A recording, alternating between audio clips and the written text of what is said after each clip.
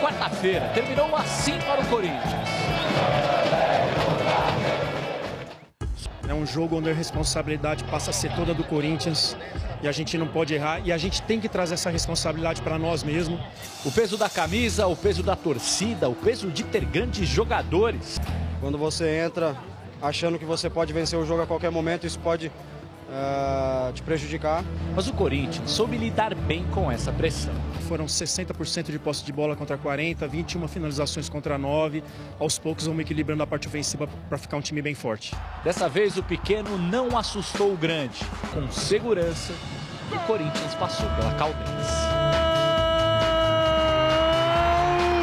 Aqui no estádio de Poços de Caldas, imprensa, torcida e banco de reservas ficam muito próximos.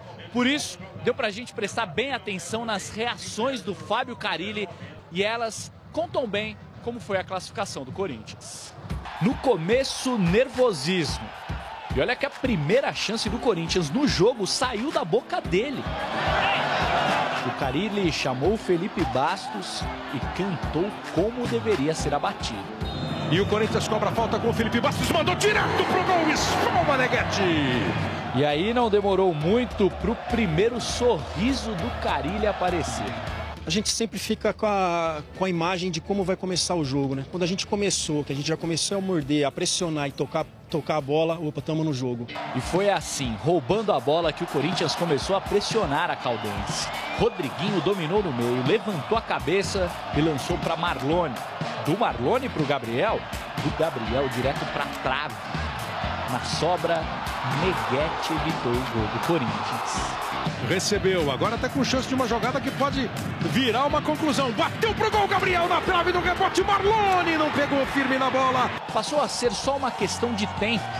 Por isso, o Carilli queria pressa e pressão. Deu certo. Olha só essa imagem, repare no Rodriguinho.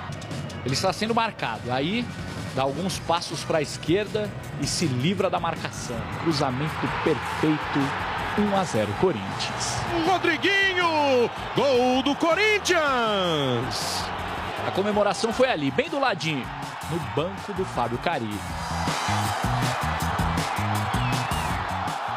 O gol saiu aos 39 minutos do primeiro tempo. Depois, o Corinthians só precisou administrar o resultado.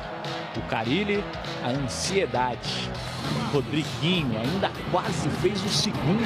Espalma, Neguete! E aí, pelo bom jogo, ao ser substituído, recebeu o reconhecimento do treinador. Já fez um ano maravilhoso, o ano de 2016. E tenho certeza, pela dedicação dele, pela qualidade que ele tem, vai ser um 2017 muito bom também.